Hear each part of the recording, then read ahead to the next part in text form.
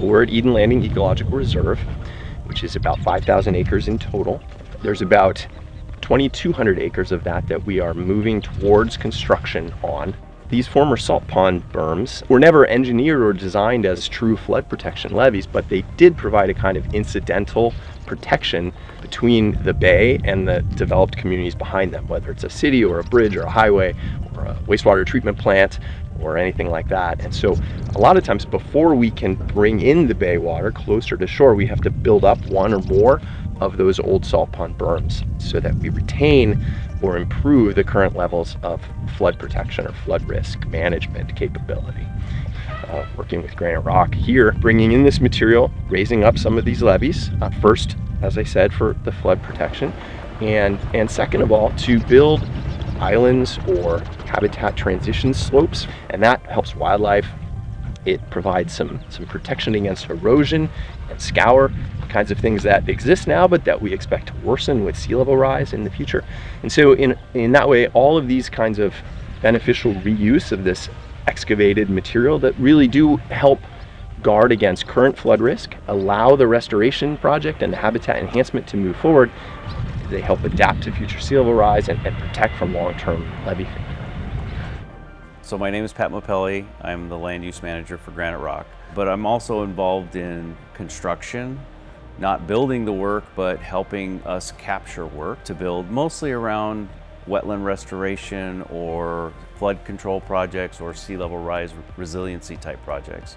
In place, we have a five-year agreement with the California Department of Fish and Wildlife, who is the owner of the property, to supply up to a million cubic yards of material for levee maintenance.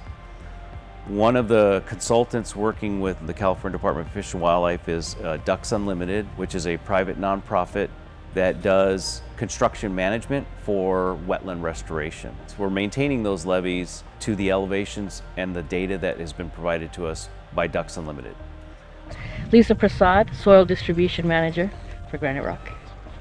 Levee restoration projects, the dirt has to be pretty clean because we're going to be dealing with marine life. It's pretty stringent. There's a, a, standard set of test methods that we run. Metals, we test for volatile organic compounds, pesticides. At this project, we have a foundation material which is used to form the bottom of the levees, and then we bring in the surface dirt, which is cleaner. It has less concentrations of the analytes that have been tested. That gets placed on top because that material is what's going to be touching the water most. Uh, Butch Paredes, uh, my nickname. Uh, full name is Anthony Paredes Jr. I'm with Graniterock. I'm the land use site manager. I grew up actually a mile away from here in the town of Alvarado in Union City. My father worked for Leslie Salt, which was then Cargill Salt, which these ponds behind us were at one time salt production ponds. So he not only worked out here occasionally, but uh, we used to come out here and fish. We'd go out to the bay's edge and fish for striped bass. Uh, in the fields adjacent to us here was pasture land at the time, and some of the ponds that weren't ponds back then were pasture land as well. We used to hunt mushrooms. so I know this area like the back of my hand. White pelicans, gray pelicans, snowy plover, red-tailed hawks, marsh hawks, osprey, go down to the small sandpipers, American avocets, black stilt avocets, Occasionally you'll find a striped bass and there are a lot of bait fish, uh, bullheads and uh, gobies or what they call mudsuckers.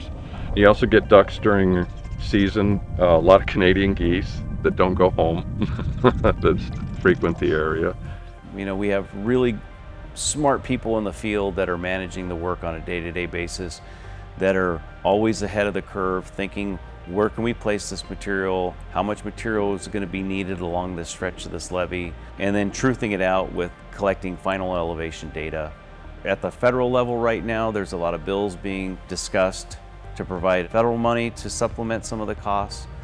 Locally, there's money that has been raised through Measure AA to help fund some of these things. And then at the state level as well. It really is coming down to, is there enough money out there to put in the infrastructure needed to protect disadvantaged communities and then our public resources, wastewater treatment plants, highways and other transportation modes that get people from their home to their to their place of employment, and um, it's, it's really good stuff.